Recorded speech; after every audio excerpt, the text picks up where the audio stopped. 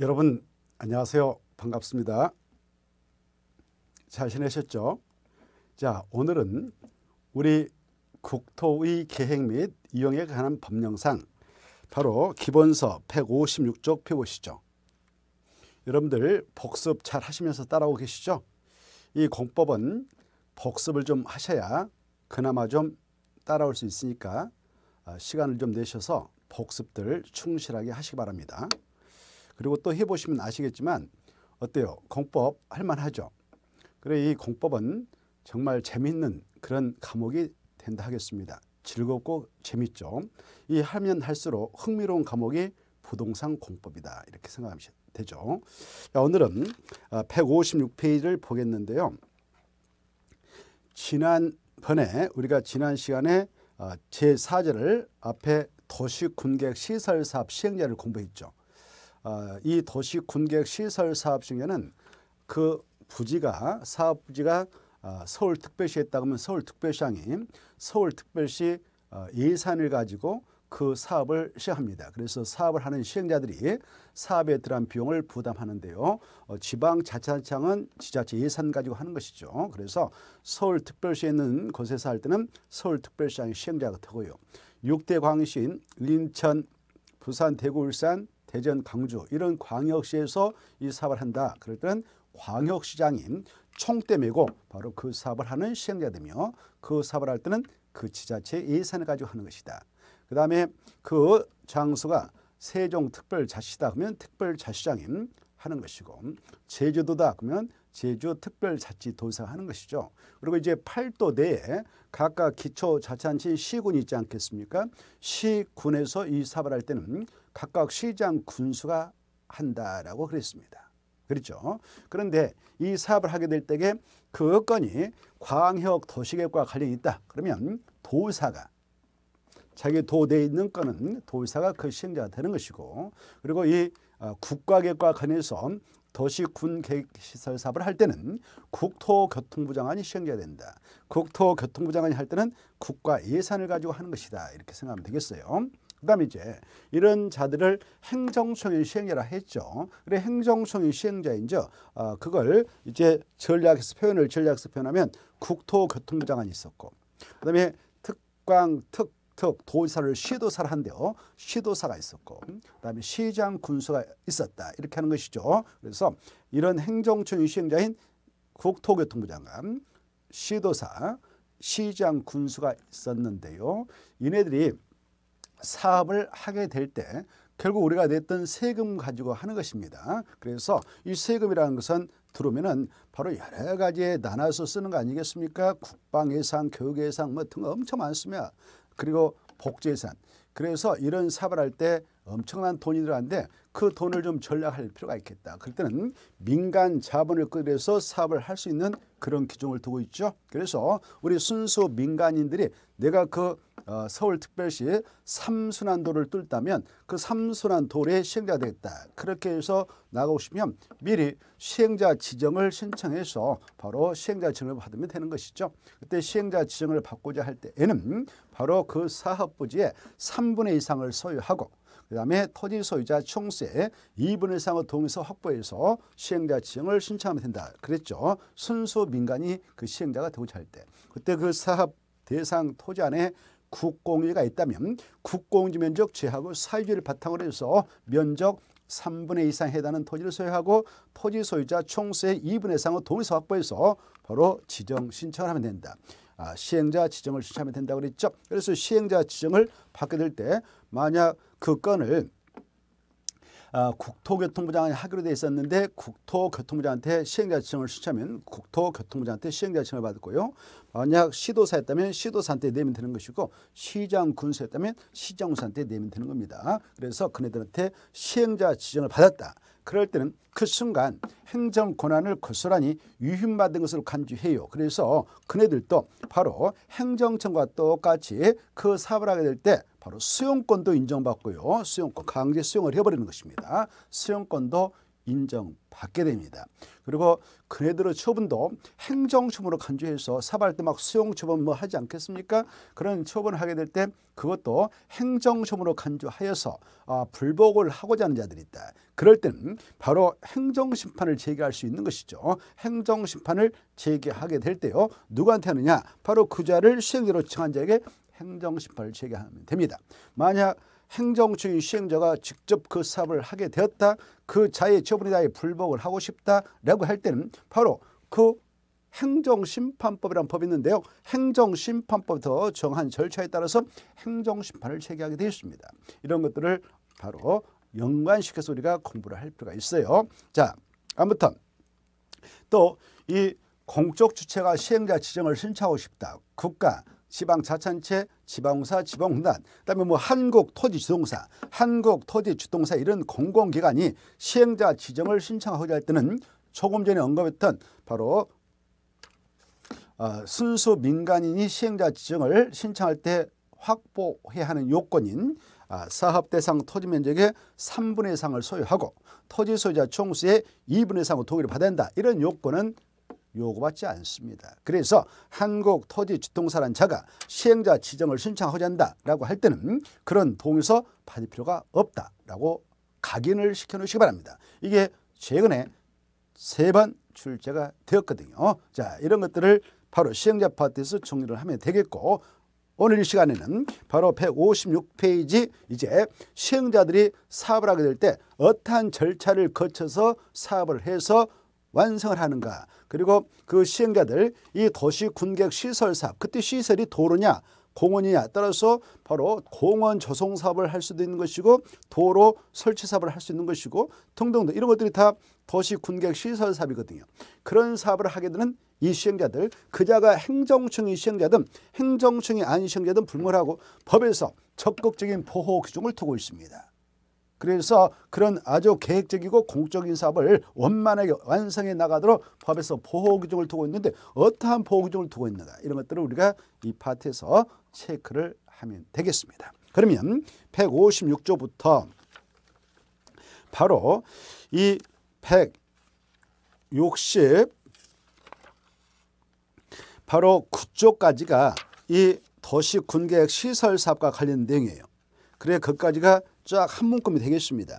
거기에서 한 문제는 필수, 많게는 두 문제까지 쏟아져 나오니까 잘 정리를 해 두실 필요가 있다 하겠는데요. 자, 156페이지 우리가 지금 국토의 계획 및 유용에 관한 법률을 하고 있고 약조로 국토개법 이 법은 엄청 중요해서 12문제 나온다 그랬죠. 자, 이 법에 나오는 사업, 도시, 군, 계획, 시설 사업을 보고 있습니다.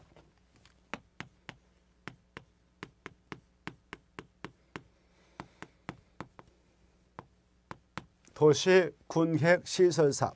이 사업이라고 하는 것은 절차에 의해서 진행되는데 그 사업 시행 절차를 보자 이거죠. 자, 먼저 이 사업이라고 하는 거 뜻이 그렇죠. 아, 이 사업이 뭐냐 그러면 도시 군객 시설을 설치하는 사업, 정비하는 사업, 개량하는 사업을 도시 군객 시설 사업을 합니다. 라고 그랬죠. 이때 도시 군객 시설이라고 하는 것은 기반 시설 중 도시 군가로 결정된 시설이죠. 그래서 여기에다가 공원이라는 기반설을 설치하고자 하여서 도시 군가로 입안해서 딱 결정하셨다. 그러면 이렇게 그걸 도시 군객 시설을 하죠.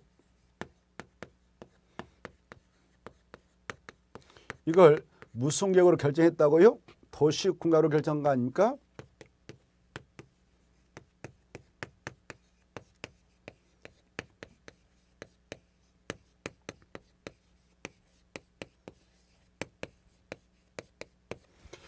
이렇게 도시 군가로 결정했습니다. 이 시설이 지금 공원이다.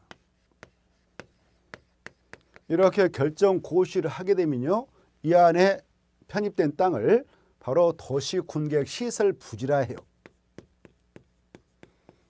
이 부지는 주로 개발되지 않는 그런 상태에다가 바로 결정고시합니다. 어, 개발이 되어 있지 않다. 그 말은 바로 그 안에 편입된 땅들의 모양새가 바로 농지라고 하는 것들, 뭐 임야라고 하는 거 야산. 그래서 지목이 뭐 전일 수도 있고 뭐 또 농지인 답일 수도 있고 뭐 이렇게 어, 임야일 수도 있고 뭐 잡종일 수도 있고 뭐 이렇게 할 수도 있지 않겠습니까? 여기 원주민이 살고 있는 집이 또 포함될 수도 있어요. 아, 그래서 지목이 될 수도 있고요. 뭐 여기 가수원일 수도 있고 이런 개발이 되지 않는 땅에다 주로 이 도시 군객 시설 결정을 하죠. 그래야만이 그 사업을 할때 어, 보상금을 적게 어, 주고 부지 확보해서 사업을 해가지고 공원 조성해 나갈 수 있거든요. 도로도 마찬가지고요. 자 이렇게 돼 있는데요. 이런 상태에서 이 시설을 설치한다. 공원을 설치한다. 이 사업을 도시 군객 시설 사업을 하죠. 그래야 할때 나가는 건 아니고요. 어, 이 사업이라고 하는 거 할 때에 엄청난 돈이 들어가요. 그래서 어, 일단 각각 그 장소에 여기다 뭐 공원을 또 하나 만들자. 여기다도 하나 만들자라고 각각 그 지자체에 있다 확정하죠. 이렇게. 그래서 또 여기는 도를 만들겠다. 이렇게 해서 도시군가로 딱딱 결정고시예요. 결정고시에 이렇게. 그러면 이 안에 편입되어 있는 땅들 바로 다 도시군객 시설부지 같아요. 그리고 이 안에 있는 땅진들은 자기가 소유권을 그대로 보유는 하고 있지만 이 소유권이라는 것은 사용 권능, 수익 권능, 처분 권능으로 구성되어 있거든요. 이런 권능을 그대로 행사한데 다만 이용 시 제한을 받습니다.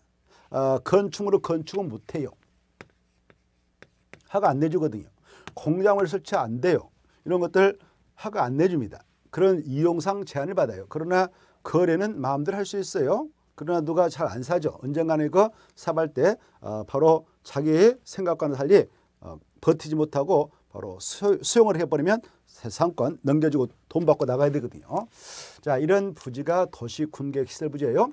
이렇게 결정고시하고 말입니다. 어, 사업을 하게 될 때는 이 땅에 대한 보상금, 건물에 대한 보상금, 나무에 대한 보상금을 다 주고 소유권 넘겨받아야 되죠. 그리고 바로 이제 사업을 하게 될 때는 공사를 하기 위한 돈이 필요하지 않겠습니까? 소유권만 딱 돈 주고 넘겨받았다 하여서 공원 만들어진 거 아니죠? 도로 만들어진 거 아니죠? 이제 뭐 해야 돼요? 공사를 해야 됩니다. 막 포크는 돈을 싹 밀고 인부 동원하고 또 나무 갖다 심고 해야 바로 이제 공원이 만들어지고 도로가 만들어지지 않겠습니까? 자, 그래서 이제 공사를 해야 되는데 이렇게 이 사업을 한다는 것은 엄청난 비용이 들어가는 거죠. 비용. 사업 비용이 들어가죠. 비용은 두 가지가 있다고 그랬죠. 보상금을 준비해야 되죠. 그리고 사업을 하기엔 돈이 필요해요. 그 돈을 재원이라고 그래요. 사업 재원. 돈이 필요하죠. 이런 문제가 있기 때문에 이 사업을 할 때 들어가는 이 비용, 이 비용은 누가 부담하느냐? 부담은 시행자 하는 겁니다. 시행자가. 사업 시행자. 아까 사업 시행자 했죠. 도시, 군, 계획, 시설, 사업, 시행자 했지 않겠습니까? 시행자는 크게 바로 행정청인 시행자가 있었고요. 아, 그 다음에 행정청인 시행자가 있었고요. 도시 군계획 시설 사업 시행자가 있고 있었고 그 다음에 행정청이 아닌 시행자 이걸 우리끼리 안일비 해가지고 비행정청인 시행자를 합시다. 비행정청인 시행자. 행정청의 시행자, 비행정청의 시행자. 이렇게 있어요. 이네들 사업할 때 사업비용을 부담하는 것입니다.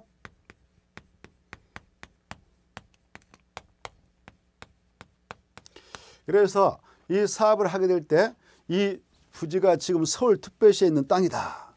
그 안에 이렇게 결정 났다 그러면 누가 사업을 한다고요? 서울특별시장이 하는 것이죠. 그때 이 서울특별시장이 그 서울특별시 어마어마한 지역에 이런 것들이 딱딱 결정 고시났을 때 서울특별시 예산 가지고 그걸 쫙 밀어붙인다는 것은 동시다발적으로는 하기 힘들어요. 예산 문제가 있으니까. 그래서 이걸 단계를 구분해서 사업을 하게 되는 겁니다. 단계를 구분해서 사업을 집행해요. 그래 그걸 집행하기 위해서 계획을 만들어요. 그걸 단계별 집행기라고 해요. 이 단계별 집행계획을 수립해서 바로 진행을 해요. 그리고 이 부자 안에 편입된 땅 주인들에게 예측 가능성을 심어주기 위해서 알려줘요. 언제쯤 사업을 집행해 나갈 겁니다라고 공고를 해줘요. 이 공고라고 하는 것은 불특정 다수에게 알려주는 조치거든요. 그래 이 단계별 집행계획을 수립해 나가는데요. 이렇게 가서 먼저 어디를 보시냐면은 그 내용을 좀 보고 올까요? 아, 그 내용인 즉 170 페이지하고 171페이지 있거든요. 가서 한번 보고 봅시다. 170페이지, 171페이지 있는데요. 자, 170페이지 한번 읽어볼까요? 170페이지 같이 봅시다. 보세요. 제가 읽고 가면 그것만 딱 체크하고 그냥 한번 읽고 넘어가는 겁니다. 여러분들도 170페이지 보면 어, 도시 군객 시설 부지 이렇게 도시 군가로 딱 결정 고시에서 시설비를 묶었다 이거 뭐라고 그랬어요? 도시 군객 시설비라고 그랬죠. 이런 걸 다 도시 군객 시설이 들어갈 부지다 해서 도시 군객 시설이라고 그래요. 이런 부지가 확정돼 버리면 가로 1번만 읽어볼까요? 자, 그 지역을 권하고 있는 특광 특특 시 장소는 도시 군객 시설의 설치 장소로 결정된 이 장소, 이 장소는 이 도시 군객설이 아닌 건축 건축 공작물 설치를 허가해서는 된다 안 된다 하지 말라 이렇게 하고 있죠. 그 정도만 딱 받으시고 외에는 보지 마시고 오른쪽 넘어오셔서 171페이지 자 이렇게 바로 도시 군객 시설 결정 고시를 했다면 했다면 그 안에서는 허가 내지 말라고 했죠. 허가 내지 말라. 바로 건축물 건축허가도 내지 말고 그 다음에 무엇도 내지 말라? 어, 공작물 설치 허가도 내지 말라 이렇게 하고 있습니다. 자, 그걸 잘 봐두셔야 되겠어요. 그래서 바로 이 장소에 대해서는 음, 그 사업을 이제 집행하기 위한 계획을 만드는데 그걸 단계별 집행계라고 해요. 단계별 집행계. 단계별 집행계획은 몇 년 이내에 바로 만들어야 되냐. 일단 원칙은 3개월 만들고요. 다른 법률에 따라 이런 시설 결정이 의지됐다 그러면 바로 2년에 만들어서 알려주면 되는 겁니다. 이런 것들을 한번 가볍게 읽어보고 오죠. 그 내용을 저기에서 봅시다. 이 171페이지 171페 보면 이 단계별 집행계획 수립 문제가 나 있죠. 단계별 집행계획 해가지고요. 바로 어, 이 단계별 집행계획을 음, 원칙은 3개월 이내에 수립했는데 늦어도 2년까지는 수립해야건만 안 했다.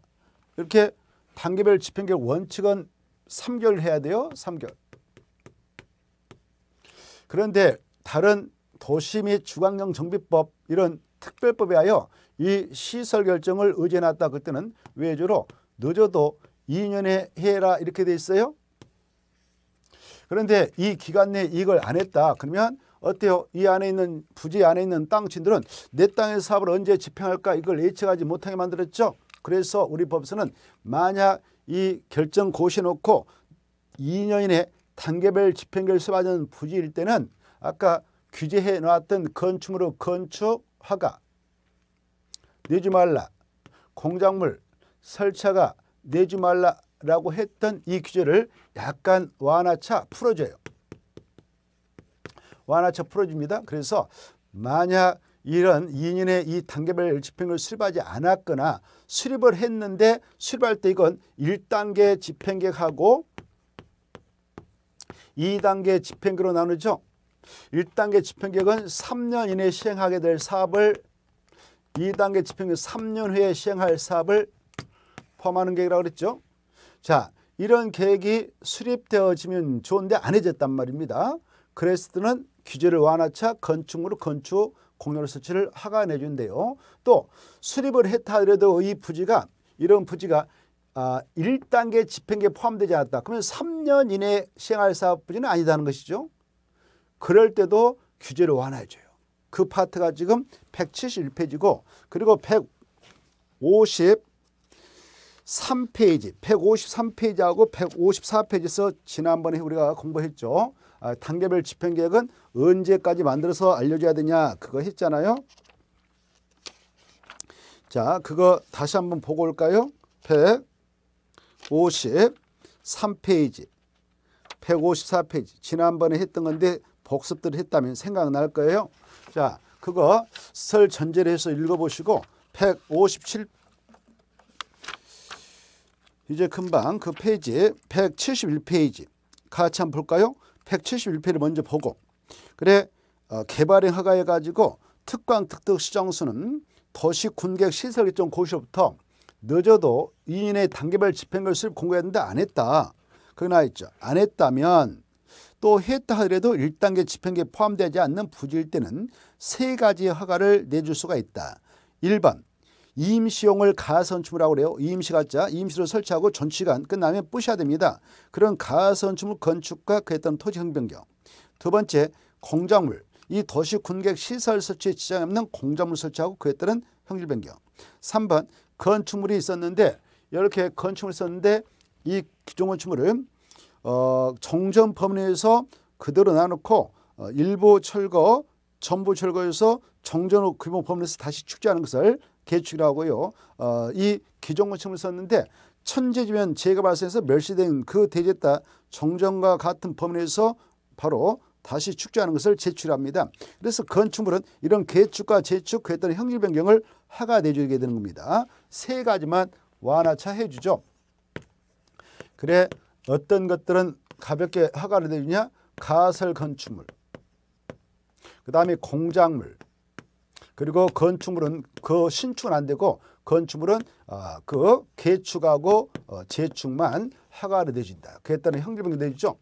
이렇게 세 가지죠. 그 다음에 이제 171페이지 가로 보면 특광 특특 시정수는 이 가설 건축 건축, 이 가설 건축물 건축하고 공장을 설치죠.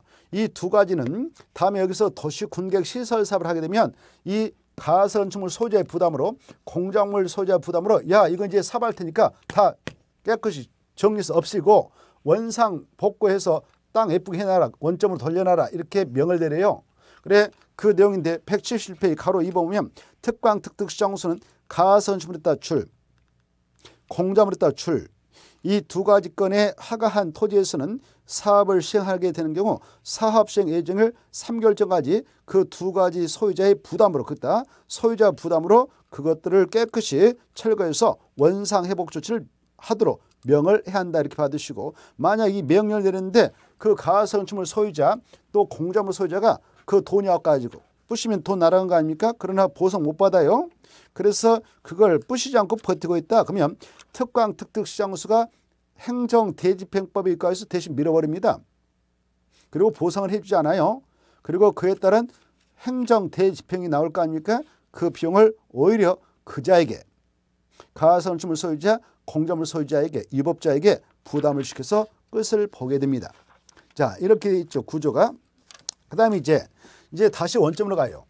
156페이지. 그래 이 단계별 집행계를 이제 기간 내 수립해서 진행을 한다.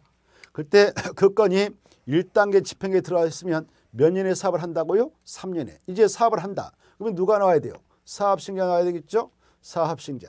이 사업신자들 나왔다. 아까 사업신자들 여기 행정청은 국토교통부장도 있었고 국토교통부 장관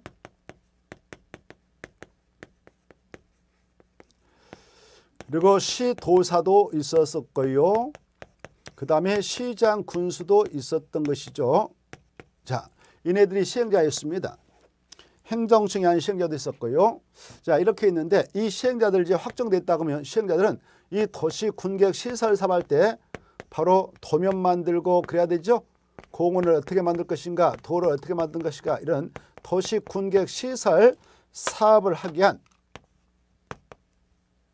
설계 도서도 만들고요. 사업 조달하게 한 그 계획도 만들고요. 언제부터 언제까지 사업을 진행해서 끝낼 것인가라는 이런 내용들. 그리고 사업을 하게 될 때 수용, 사용의 대상이 되는 것은 뭐가 있을까? 일단 이 안에 편입된 땅 주인들한테 이 시행자가 소유권을 넘겨받게 될 때 말입니다. 여러분이 저 안에 있는 땅 주인이다. 논밭을 가지고 있는 그 땅 주인이다. 그럴 때 이 시행자들이 소유권 넘겨받을 때 좋게 토지 소유자 만나가지고요. 땅을 우리한테 파세요. 우리 공원 조성사업에 이제 들어갑니다. 그래서 이제 그 돈 원만하게 매매가 제시하고요. 계약서 써요. 그래서 소유권 이득게 다 넘겨 받습니다. 이렇게. 이제 소유권 이득게 딱 치면 돈 주고 소유권 이득게 딱 치면은 이 시행자에게 소유권 넘어가죠. 이렇게 해서 싹 소유권을 넘겨받은데요. 이 안에 있는 사람들 마음이 다 같은 거 아니죠? 이 안에 있는 사람 중 어떤 한 사람이 나 그렇게 못하겠다. 바로 내 땅이 비록 좁지만 적은 땅이지만 돈을 50억 주라 해가지고 얼토당토하는 소리를 하면 이게 성사 안 되죠. 형평성에 어긋나는 것이고요. 그래서 그런 사람 것은 어때요? 법적으로 절차 거쳐가지고 강제로 재산권을 이 시행자 취득해야 되겠죠. 강제로 취득해야 된단 말이죠. 이걸 수용이라는 것입니다. 그때 수용까지 해가지고 수용에 따른 절차 끝나면 보상금만 완불하면 시행자에게 소유권이 넘어가고 법적으로 간주가 된 것입니다. 민법 187조에 근거해서 자 그렇게 이제 아무튼 소유권을 다 넘겨받습니다. 넘겨받아가지고 이제 사업을 하게 되는데요. 이때 도시 군객 시설 사업을 하게 될 때 그 사업을 이렇게 하겠다라는 실시계획을 짜요. 시행자들이 이 시행자들이 실시계획을 짠다 이걸 작성을 하죠. 이렇게 사업을 하겠다. 그래 이 실시계획을 짰다 때는 설계 도서도 만들고 공원을 이렇게 만들겠다라는 도서 그 다음에 바로 자금 조달객도 짜고 사업을 할 때 엄청 돈은 들어가죠. 자금 조달 어떻게 할 것인가.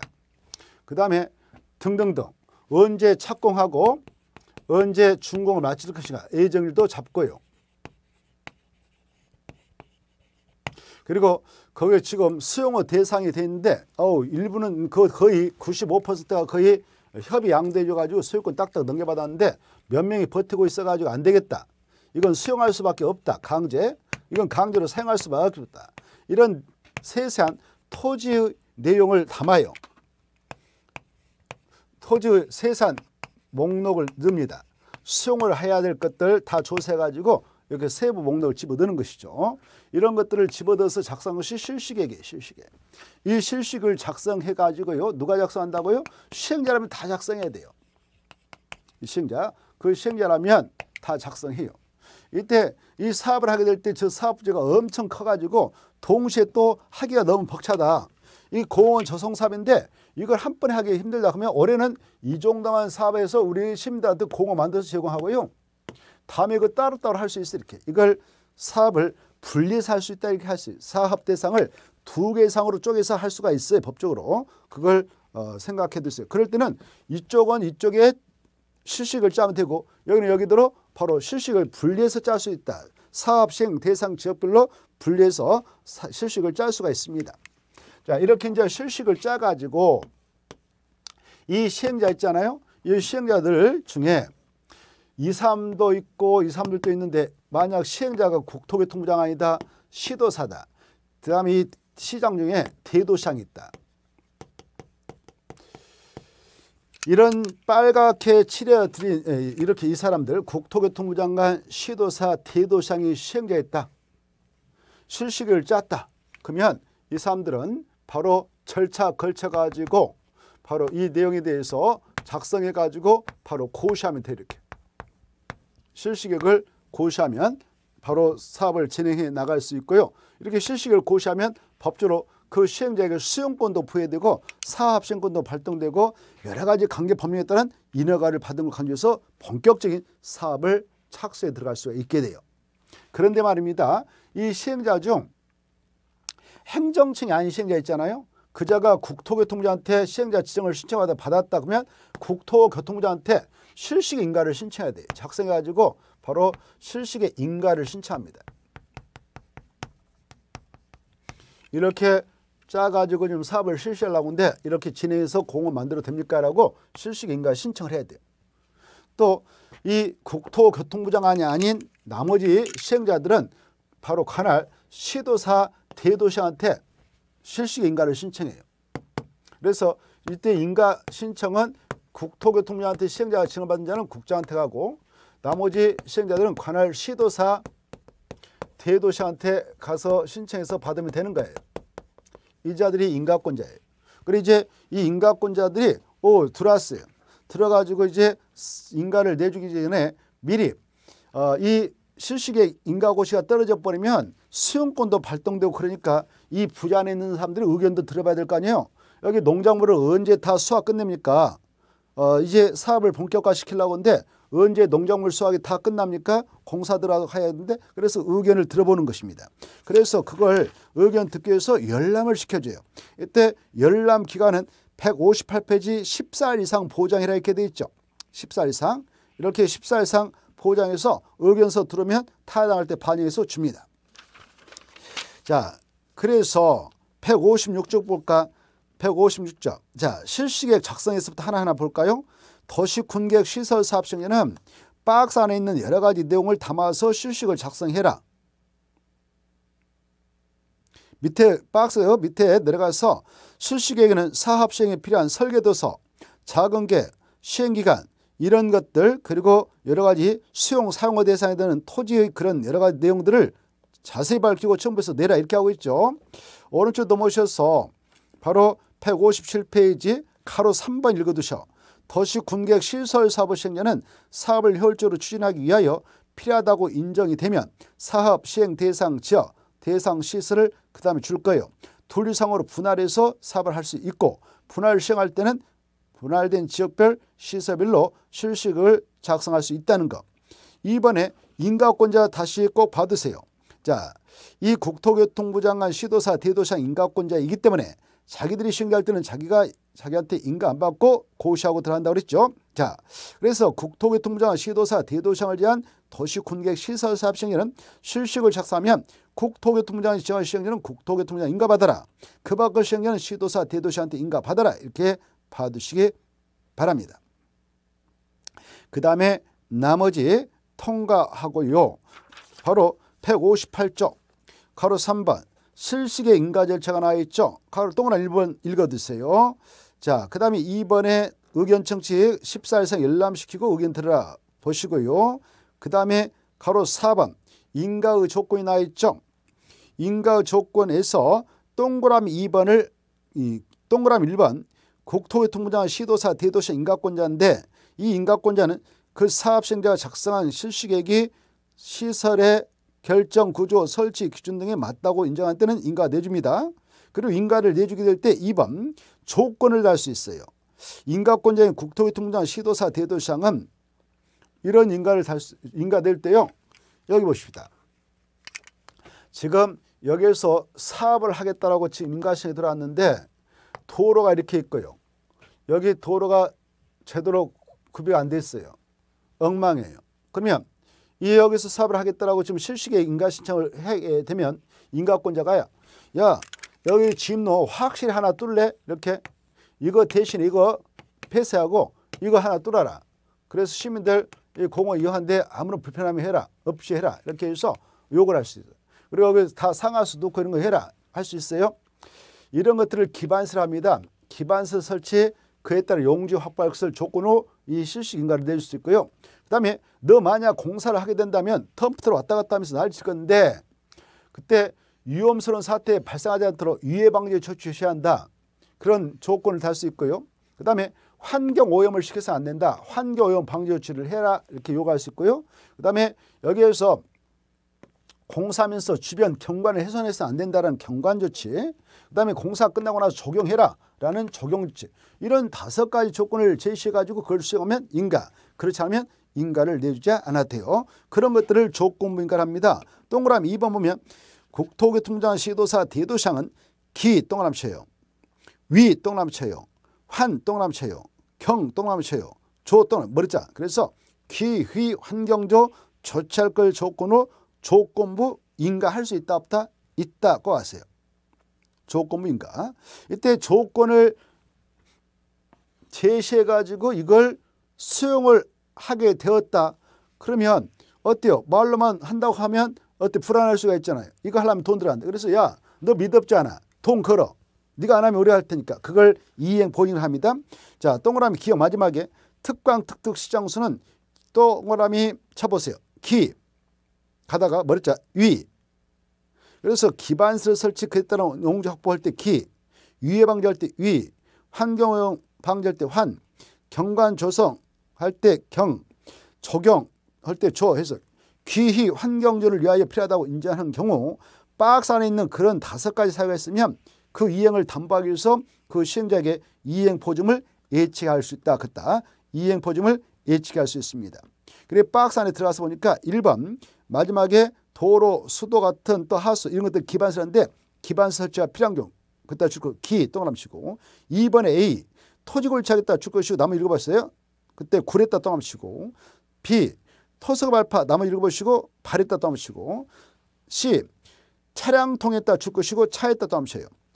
D 마지막에 비탈면에 적용할 필요가 있는 경우 그따 줄 것이고 B에다 떠보셔요. 그래서 동그라미 치는 걸 보면은 굴비 발차기가 나요.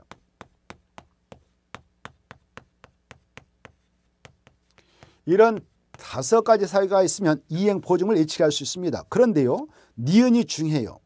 이 이행 보증을 예측할 때에 바로 박스 안에 있는 국지공, 국가하고 지방자치단체, 공짜 나온 애들 있죠. 그래서 국가할 때 국, 지방자치할 때 지, 지방살 때 지, 지방할 때 지, 공급, 준, 정보기관 할 때 이걸 바로 국지공으로 머릿속으로 넣었어요.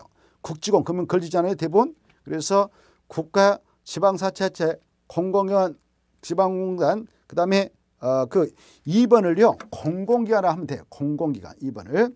이런 공공기관하고 지방사 지방공단 얘네들은 다 공적 주체죠. 공적 주체는 어떤 사고가 터지면 언제든지 재정적으로 충당할 수 있는 재정적 능력이기 때문에 보증금 제도를 적용하지 않습니다. 그래서 박스 안에 있는 자들을 제한 우리 민간에게만 이행 보증을 예측해 하게 된다는 걸 이해해 두시기 바랍니다. 자, 그 정도를 봐두시고요. 그 다음에 넘어가서 보시면 어, 동그라미 3번 실식의 고시와 효과가 있죠. 실식의 고시가 떨어지면 이제 사업을 하게 되고 오른쪽에 박스 안에 있는 것들 다 받은 걸로 간주를 해요. 뭐 건축법상 건축 이 공원 조성할 때 여기다 화장실 건물도 질 수 있을 거 아닙니까? 그래서 그런 걸 질 때 건축가 별도로 받을 필요 없어요. 오른쪽에 1번 건축법상 건축물로 건축 허가 신고 마친 거 본다.